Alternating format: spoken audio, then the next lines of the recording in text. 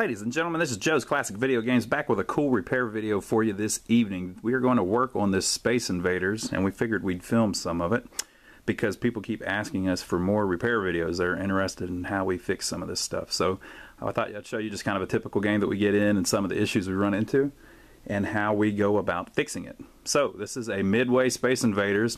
Doesn't get too much more cool than that, but it's in kind of a little bit rough shape and it doesn't work and there's an issue going on in the back that uh, is kind of interesting. So I figured I'd, we figured we'd film a little video.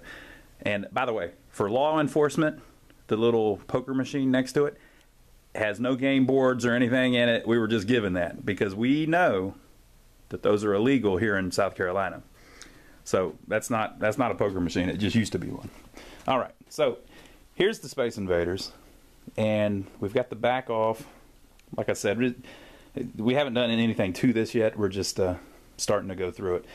We bought this from a nice lady, and she was telling us that she'd been having trouble getting it to work, and she had gone to the uh, she had gone through the trouble of buying a rebuilt power supply that's there on the side. She had swapped out the main motherboard with one that worked, and she had swapped out the monitor with one that worked. So she had done about everything you could do, but she had a problem with the wiring that she couldn't quite figure out. So uh, we looked it over a little bit and we think we've figured out what's going on. So this connector, this is the this is the main motherboard connector on a Space Invaders. And that connector is a strange connector. We don't have it because it's missing from this machine, but basically there's a there's a little white connector that connects to this and it has little pins inside of it. We can look at this one. See the see the split uh, they call those bifurcated, I think, bifurcated pins. Well, the original ones weren't like that. They were they were like a U-shaped, almost like a horseshoe-shaped pin, where one was on this side and one was on this side, and so it would grip the motherboard on both sides. So like, it's hard to explain, but this pin here would also connect to this pin here with a little U-shaped thing that slid over it like that. So it's similar to this, but not quite the same thing, and it wasn't made anywhere near as well. So those are always screwed up whenever you get one of these. And they kind of lose their tension. This plastic spreads apart a little bit. So it gets to the point where they're not making good contact with that. And then you get all kinds of issues. So apparently that had happened in this game. And then somebody had went through and replaced the connector. So they, uh, they wired in this new one. Right? And apparently they had it up and running at one point, or thought they had. But the problem is, uh, we've got this wire here that's not connected because it broke off. Well, it, after looking it up and looking on the schematics, it should have went in this top pin, this top hole, which is actually missing. Ooh, it's pins. So they hacked it a little bit, which they had to do. I don't blame them. They hacked it a little bit, but then they they, they ran into an issue where I don't know if they just never got it quite right or if the pins fell out, it broke, you know. Um, but one of these wires isn't connected. So I looked it up in the schematics to see what we've got going on. So hold on a second and I'll pull that up and I'll show you what we're working with. All right, so these are the Space Invaders schematics. I don't know how well that'll come out for you, but I think it'll be all right pulled these up on the computer and it's basically you know showing you the wiring diagram how everything connects. And so the harness now the harness uh, that connects into the uh, the little sideboard all of those are fine. There's uh, two connectors there that are fine. But this main connector that goes in the motherboard is the one that we have that we're having an issue with.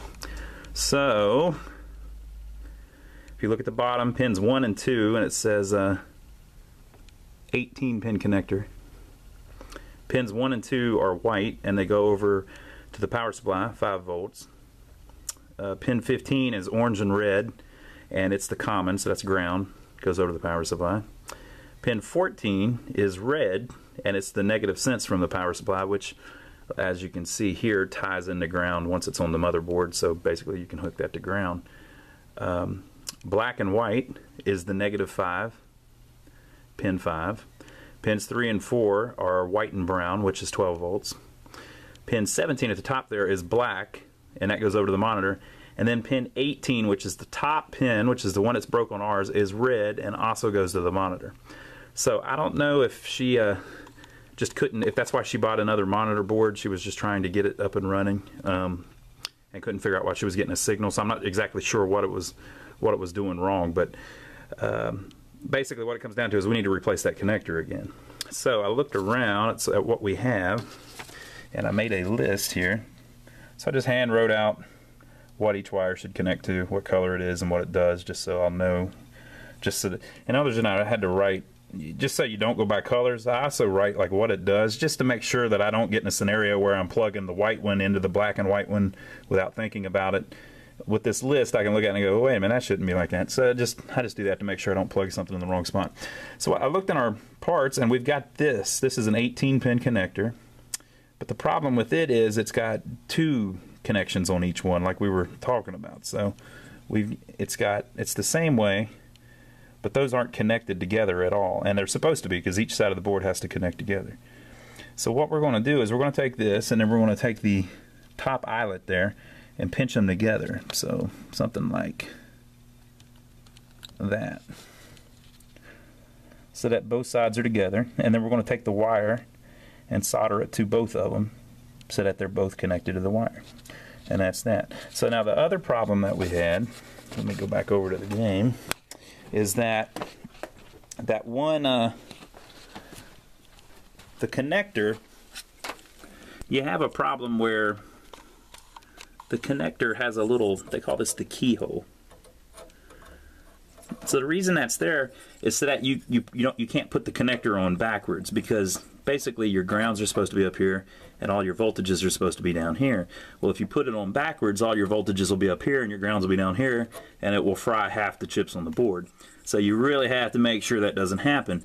Well, this kind of connector doesn't have a key uh, that you can put down in there. You can see how they approached it. They just put some uh, cardboard in the hole. And the reason they did that was so that it that cardboard would go in that slot to make sure that you put it on just right, you know. Um, since this is the wrong connector for this board, they don't make the original connector. That's why we're going through all this. Since this is the wrong connector for that board, if you don't have that keying thing in there, you could put the, the connector on a little too low, a little too high, and the you know you can actually be one whole pin off with this because of the way. See how the slot continues past the last pin? So there's wiggle room on both sides. And see how on the board, as soon as the last pin's over, the board ends. So that means you could you could put it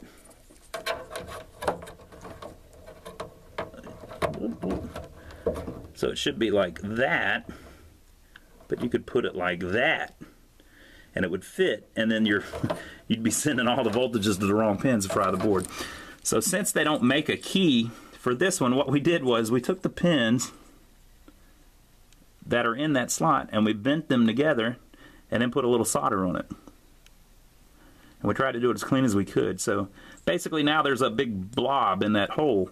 So if I try to put this on backwards, for instance, right? Whoop, it won't go. It won't go on there. Now, if you turn it around the right way and put it on there, it'll only go in one place and it goes right on. No wiggle room or nothing. I mean, it fits perfect because we got that little key plug in there. So we're going to take this, we're going to solder the eyelets together, like I said, so that they're all connected across, the ones that need it. These ones in the middle don't even connect, so we're going to get rid of those, but the ones that need it. And then we're going to take our wires, figure this back out, and uh, solder them back on here where they go. So we'll do that, and then we'll come back and we'll film a video, and uh, we'll see what, we, what we've got after we get that wiring straightened out. Okay, so we, uh, we went ahead and replaced that connector like we were talking about. This is the remnants of the old one. You can see they did a pretty good job.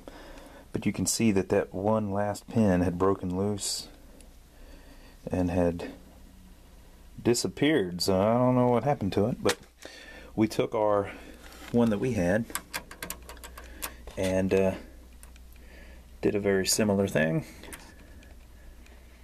Made sure to keep everything separate so it couldn't touch. Uh, so the bottom's five, and this is our 12 this is our negative 5 none of these connect anything even on the board so these are no issue. Uh, and then all four of these are grounds various grounds including one for the video.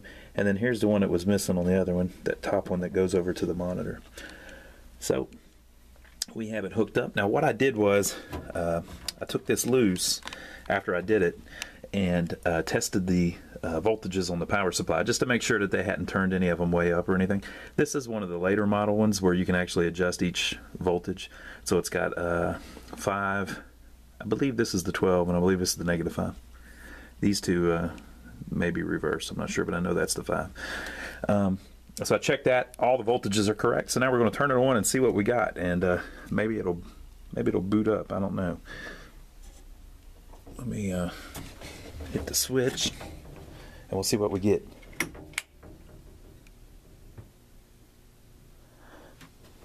It's on. I don't see anything burning up or anything.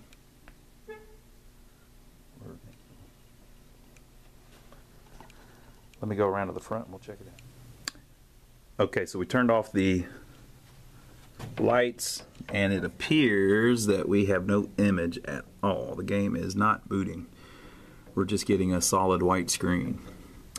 So what I'm going to do first is check the uh, power on the board and then I'm going to uh, test a few things. There, the lucky thing about these older ones is that some of these had a really thorough description in the manual of how to fix it or how it works and Space Invaders does so we're going to have to walk through figuring out what's going on with the board. Um, it could just be the ROMs or it could just be the uh, it's not doing anything it looks like so it could just be that the 8080 chip needs replaced which is the the CPU chip. So uh, I'll uh, I'll check through a little bit of that stuff. I'm going to check the power first to make sure it's all right and then I'll try cleaning the ROMs and checking the 8080 chip and swapping it.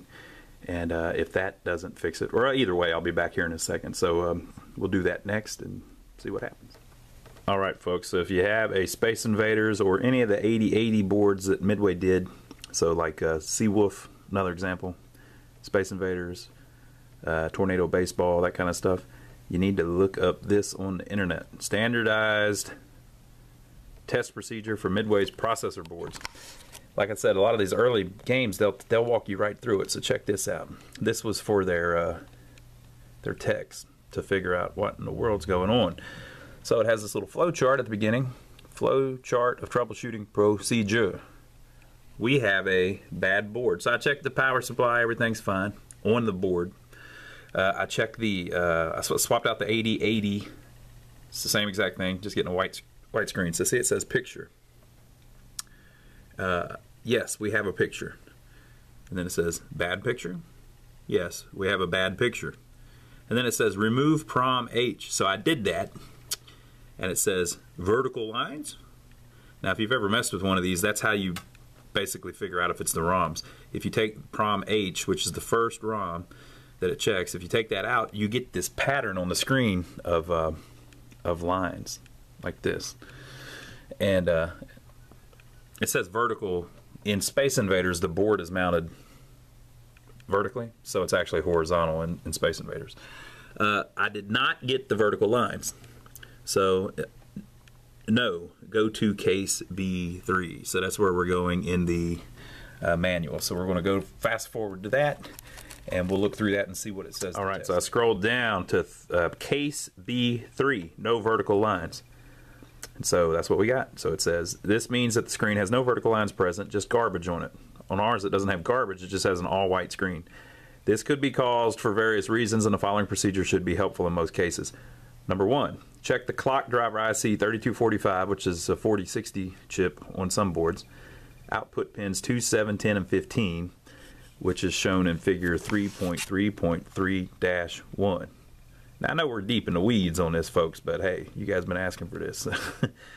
so there's the C5 chip. This is a copy of the schematics, that figure that they were talking about. And you can see that uh, whoop, this is the inputs to this C5 chip.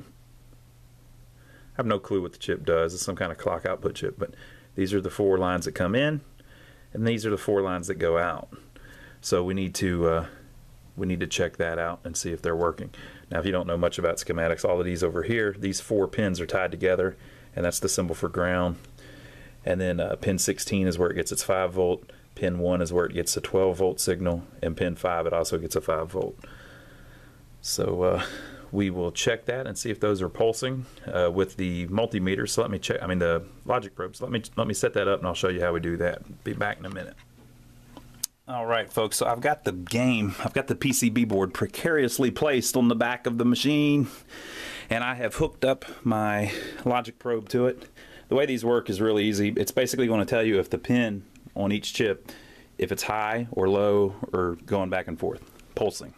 So the way you the way you hook it up is you have to hook up the red lead to a 5 volt source, and you have to hook up the black lead to a ground source. So one way you can do it is if you if they don't if the board doesn't have an easy way to do that on a board like this, it's got these ceramic capacitors um, around the outside, and they are hooked. One end's hooked to five, one hooked, one end's hooked to ground. It's like a to, to filter. So uh, that's a good place to hook it up. So I've hooked it up, and now the chip we were looking at is chip C5. That's the one that it said to test first, right? Which is the clock chip, or one of the clock chips. So the board will be labeled. So this says C right here, and then five is one, two, three, four, five, row five. So it's that chip. So the inputs are, it said to check the outputs, but I always check the inputs too just to make sure. So uh, the first one I've got is pin 11. And I hope I won't knock this off of here while I'm doing it. So this is, there's eight pins. The first pin is right there. There's the notch. So pin one's there, 8, 9, 10, 11. So it's the third pin right there. All right, so it is pulsing, but it's a, it's like a high pulse. And pin 14, I don't think I can manipulate this to where you can see it, or maybe you can. 11, 12, 13, 14. All right, see how it's red and green? That's a pulse. So we're getting a signal coming in, and then pin 6.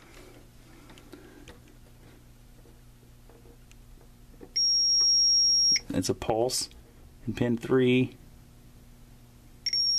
it's a pulse. Okay?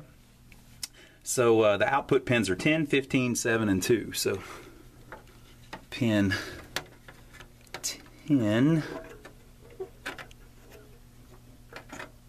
I can get to it.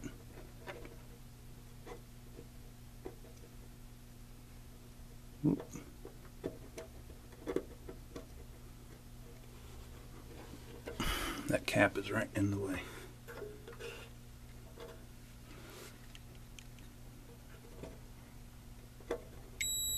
pin 10. Come on, baby. Pin 10 is low, so it's not outputting a pulse like it's getting in. It's stuck low. So pin 10 is low. I'm marking it on my piece of paper I've got here. Pin 15. Whoop.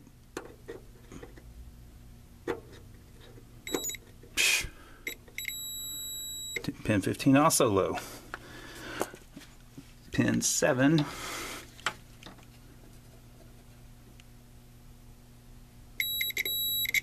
Also low. And pin 2. Also low. So 3 is pulsing. 6 is pulsing. Okay, yeah. All right, so all the pins going in are pulsing all the pins going out are low. So it very well could be that, that chip isn't working right. Um, it's possible that the chips on the other side of that aren't working right, but we'll go look at the schematics and see if we if it looks like logically that's the problem. Be right back. All right, folks. So we put the chip in. I actually had one of those, but it was used. A 3245 chip, which apparently is some real rare stuff that's hard to get anymore. So I had to use one. I, put, I took the old one out, put a socket in it, and we'll test it out, see what happens. Now I've still got that chip out, so we're trying to get the lines on the screen.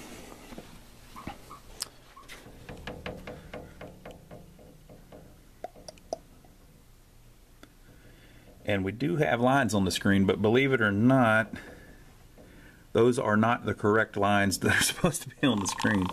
See how they're evenly spaced? They're not supposed to be like that. They're supposed to be like a little thin one underneath that, and then a blank, and then that bigger line. So they're they're there, but they're a little off. What that means, whenever they're off a little bit, is that you got RAM problems. So what I'm going to do is I've got an actual RAM test chip that I'm going to install. So I'm going to pop that in, and I'll show you how that works here in a second, and we'll uh, we'll see where we go from there. But this is what this means now is that the clock's running and the CPU is running, but it's not executing code because we took the ROM chip out. Um, but the RAM have an issue because they're not. It's not displaying the lines the way it's supposed to be. So um, I'll be right back. We'll we'll talk a little bit about that RAM. All right, folks. So we're on to our next thing. So what we did was we took the. Uh, we have another actual board set, and so we took the. This is actually called the motherboard. Believe it or not, the big one's not the motherboard. The little one is. I don't know why. That's just what they did. Um, but the motherboard, we took it off and swapped it into the uh, game, a different one, and got the same set of lines. Uh, so usually what that means if the lines aren't perfect it's because one of your RAMs messed up or one of the signals to the RAM. We checked that we couldn't find anything so we we uh, there's an actual you can burn a ROM chip that is a Space Invaders RAM test chip.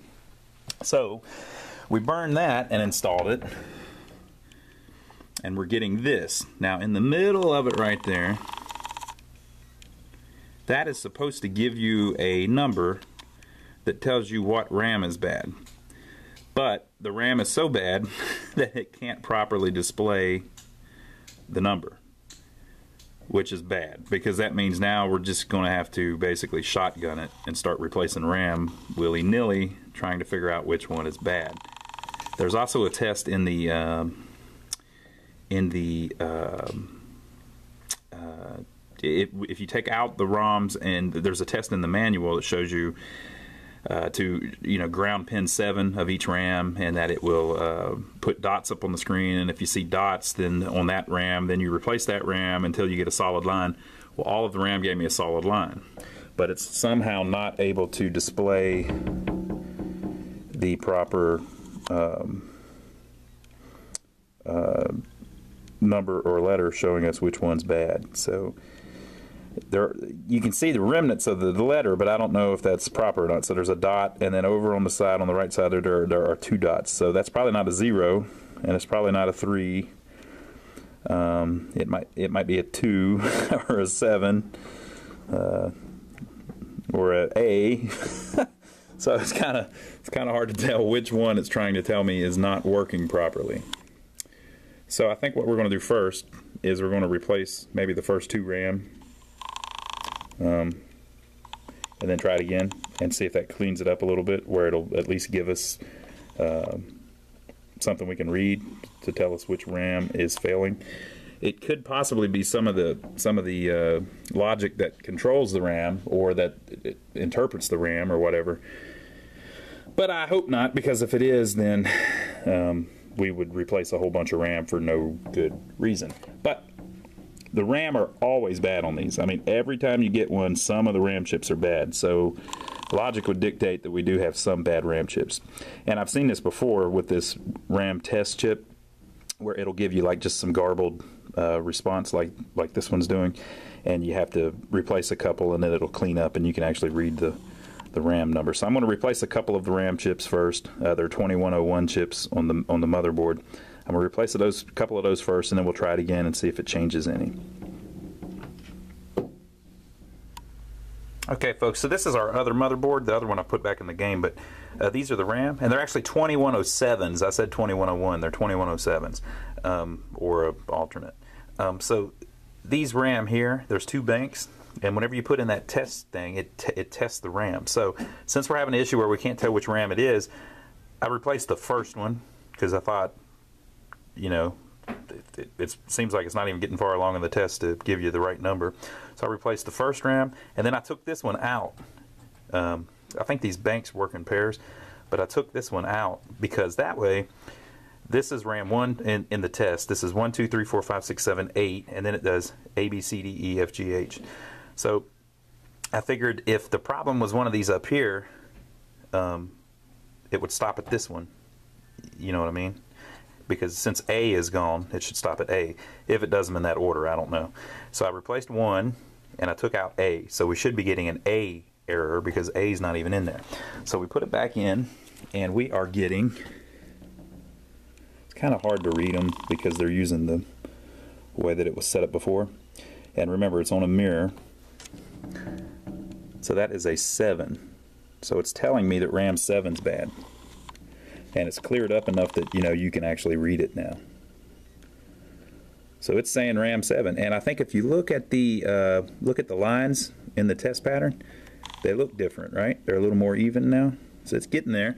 So it's telling me RAM 7 is bad, which is one, two, three, four, five, six, seven. It's going to be this one on the board in the machine. And then I'm going to go ahead and put in the A RAM as well. So I should get seven.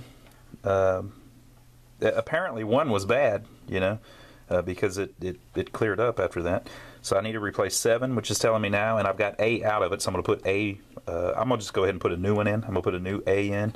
And then when we do the test, it'll either tell us 8 is bad, which would be the next one, or it will tell us B is bad, or one of these, or it'll come up in, in the test mode. So we shall see. So I'll replace those two, and then we'll see where we get from there. All right, folks, so I replaced those like we were talking about, and now I am getting what appears to be most of a 4. So either it doesn't check them in order like we were thinking, or I'm just chasing my tail here, but since I'm still getting different numbers, and that does look like a 4 to me, I'm going to replace RAM 4. so we'll see what happens. I, uh, I'll replace that one and be back in a minute. All right, so now we're getting garbage. After my latest one, after I replaced 4, we're getting junk. So I'm gonna I'm gonna just pop four out and see if it gives us a four error again, which it should, because um, we turned it off once or twice and it still said four.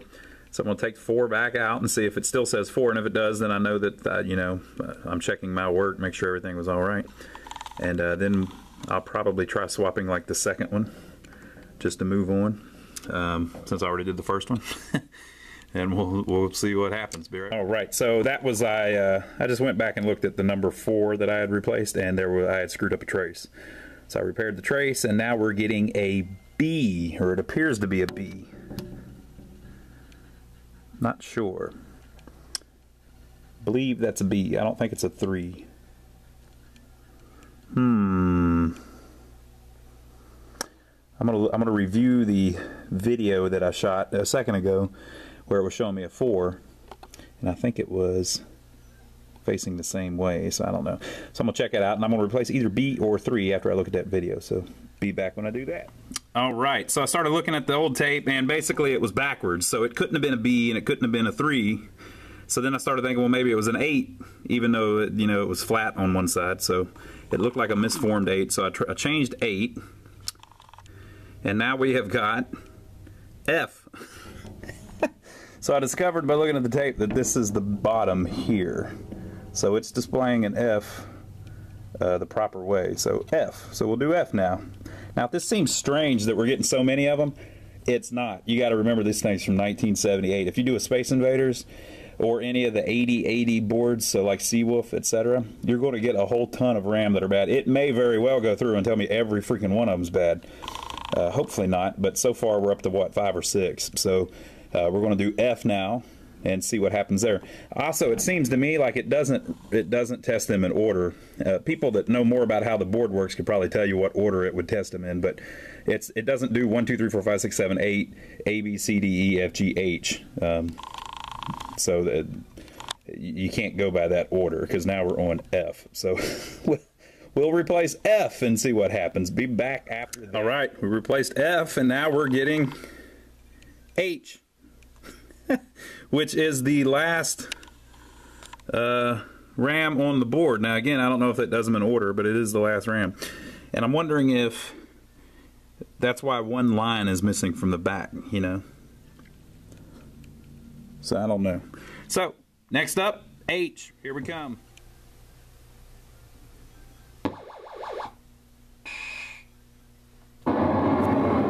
All right, folks, we fixed it. So on this test ROM, it goes through and it checks the RAM. It's kind of hard to see it because of the mirror.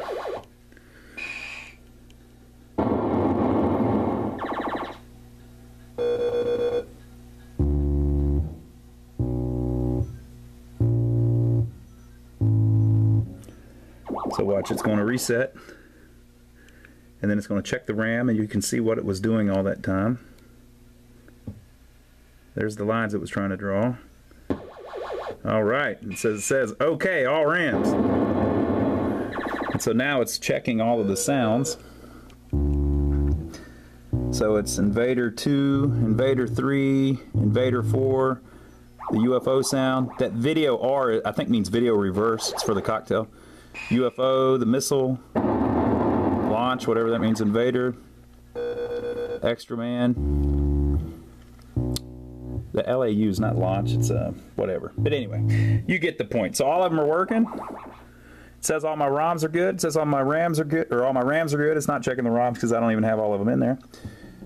And then the port test is the buttons too.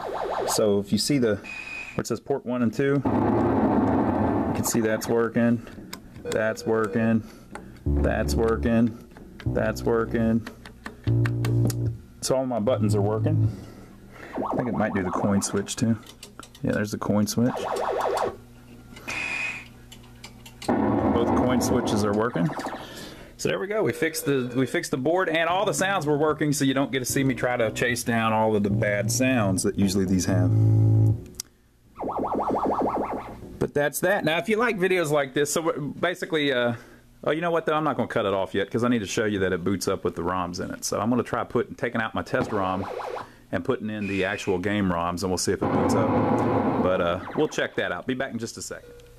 All right folks, so there it is. It is up and running. So I took out my RAM test chip and I put the ROM back in and bam, it booted right up. So there you go. I still need to adjust the green a little bit. Oops, sorry. Need to adjust the green. If I if I move the monitor up a little bit, it'll make all that line up how it should be. But it's up and playing, so you got to see us uh, bring one back from the dead. Couldn't have done it without you, folks. Now, still got more stuff to do to this cabinet, of course but it is up and running. Um, so now we got to start with a lot of the cosmetic stuff and getting the lights working and all that. Now, if you enjoy videos like this, subscribe to us here on YouTube. Every time we get something in uh, that's a little different, we'll film a little video of it. We do a lot of videos showing off games after we get them done and just showing uh, how cool they are. Um, we've already got a video showing a Space Invaders uh, all the way redone and working, so you can check that out on our website. I mean, on our uh, channel here. Uh, and make sure to subscribe to us. Give us your comments below. Let us know what you think about this. And we will see you on that next video.